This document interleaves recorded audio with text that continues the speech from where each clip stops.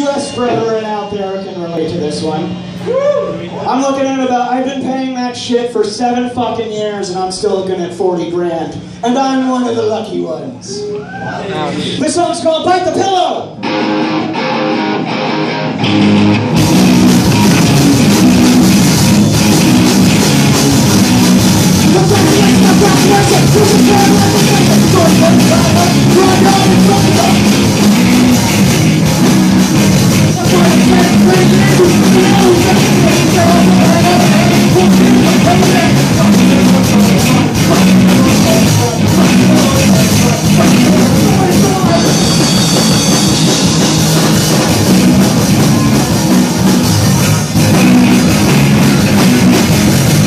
That